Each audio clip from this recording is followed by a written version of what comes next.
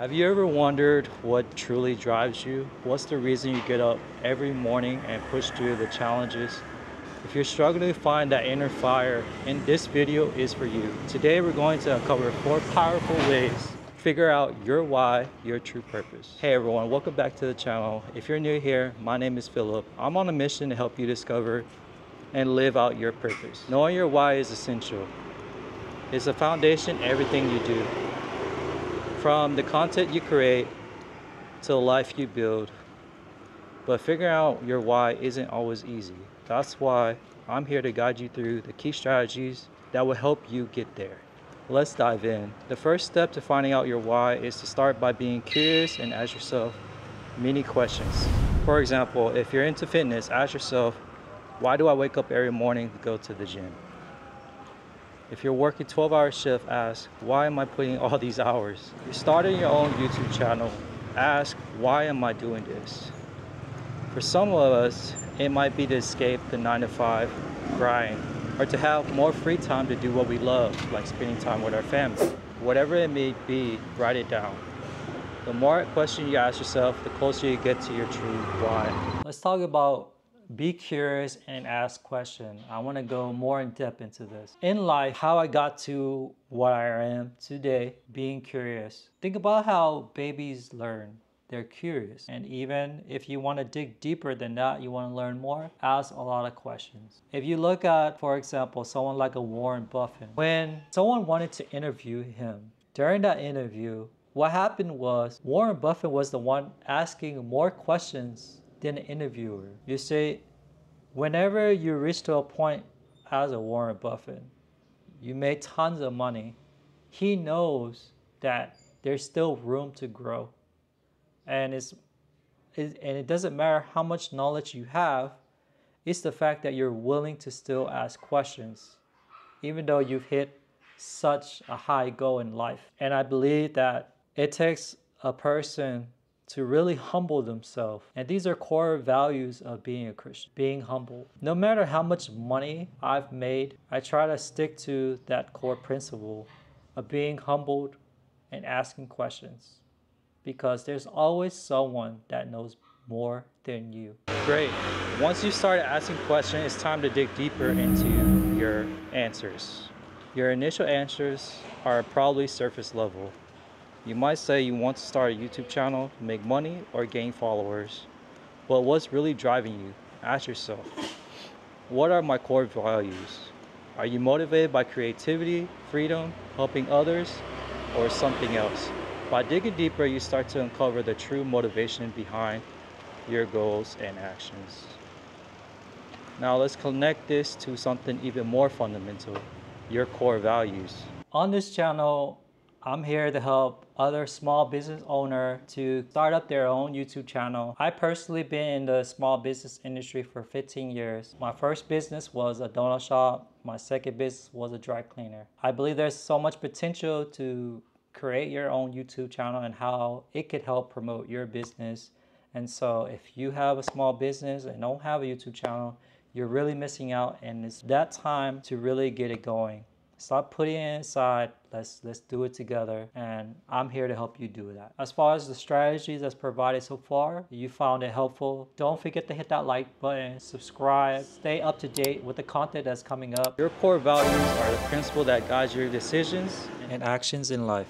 They represent what's most important to you, things like integrity, compassion, growth, or contribution. When you identify your core values, you can line your why with these guiding principles, ensuring that everything you create is in harmony with who you truly are. Ask yourself, what values do I want to embody and promote through my work? When your why is rooted in your values, your purpose becomes clearer and more powerful. Identify your core values. If you follow this channel for a while, you might hear me say the word, as a man, we should keep our integrity being humble, being compassionate, having a mindset of servanthood. These aren't values that I came up on my own. This is all values that I've learned as being a Christian, having a relationship with God. And this is something that, that helps me even start up this YouTube channel.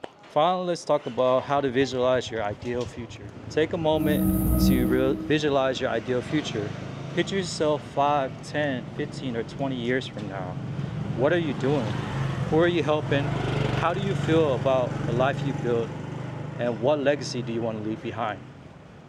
This exercise isn't just about dreaming, it's about connecting with the vision that pulls you forward. Your why should be the driving force that bridges the gap between where you are now and where you want to be. By keeping your ideal future in mind, you'll stay motivated to overcome obstacles and push through challenges. Understanding your why isn't about creating content, it's about creating a life that reflects who you truly are and what you truly value It's what will keep you motivated on the tough days, help you make decisions when you're at a crossroad, and ultimately is what will resonate with your audience. Because when you're passionate about your why, your audience can feel that connection. Now that you got these four strategies in your toolkit, it's time to start exploring your own why. Take the time to ask yourself these tough questions, dig deeper, identify your core values, and visualize your ideal future. Let's talk about passion. Give you a backstory. I've served on a worship team for more than 10 years, and I love and have a passion of playing on the drums. Unfortunately, I started building up carpal tunnel and I couldn't do it anymore. What I learned is during that process, I started thinking to myself, man, I don't, I no longer have the passion. No, is the thing that I realized was is because I stopped practicing it. Passion isn't something that you lose. It's actually something that you just stop practicing. So it's the same thing with starting up your YouTube channel. Okay, figure out your why. I have a passion for creating content because it's what I practice every day. But once I stop practicing it, I will lose that passion. Let it sink in for a bit. It maybe not make sense right now, but just let it sink in. My why is actually something that I wish I could just say it out loud, but in time I will, okay? So make sure you subscribe because I will reveal that why. I could give you a small part of the why. My why is my ultimate goal 10, 15 years from now is to be able to be a public speaker. Now, I won't say specifically what it is. But let's just say is to help the Cambodian people. I would just leave it at that. Okay? I believe that someone's voice is powerful to make a difference in people's life. And I believe if you're watching, you have that voice. You just got to figure out your why because you need to have that strong why when you go through adversity. Believe me, I've gone to plenty during these past six months.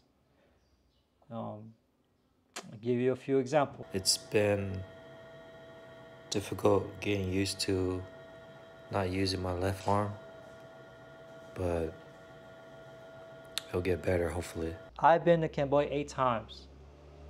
I hate flying. So upon my wife, she knows I hate flying. I even made a video about it. And it wasn't scripted and it got 8,000 views.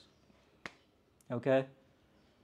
Did I plan that? Did I know it would get that many views? No.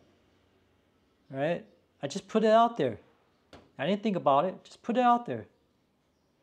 And it's about just being vulnerable, showing who you are. Even now, it's like I'm speaking off script and it's good for you, man. Like you gotta be able to practice getting in your element, finding that flow, and be able to communicate in a way where you can just get straight to the point. If you don't have a goal in mind, where I think it's just pointless. Like I'm thinking long term with this YouTube game. With that said, if you guys like content like this, and looking to build confidence. My next video could help you feel more confident and talk on a camera with ease. So I'll see you on the next video. Click here. Have a good one.